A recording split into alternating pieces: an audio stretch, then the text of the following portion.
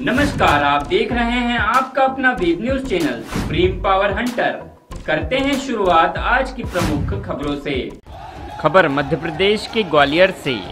नागरिकता संशोधन अधिनियम सी 2019 के समर्थन में ग्वालियर में आयोजित रैली को संबोधित करने आए उत्तर प्रदेश के मुख्यमंत्री श्री योगी आदित्यनाथ जी। ग्वालियर स्थित जीवा मैदान में जनसभा को संबोधित किया। जनसभा के बाद एक विशाल रैली का आयोजन किया गया, जो चेंबर कॉमर्स से इधरगंज चौराहा, ऊँट, पुल, दौलतगंज से होती हुई बाड़े पर पहुँची। सुप्रीम पावर हंटर न्यूज़ के लिए ग्वालियर से रवि प्रजापति की रिपोर्ट।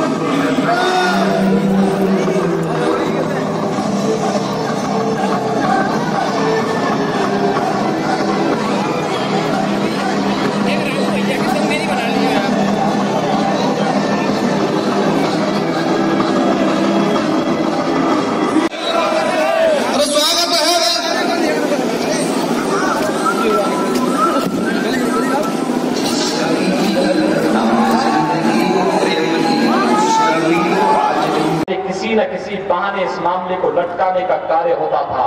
लेकिन जब न्यायालय के सामने ठोस तथ्य और प्रमाण गए तो न्यायालय ने भी कहा कि नहीं, जहाँ रामलला विराजमान है, मंदिर वही बनना चाहिए।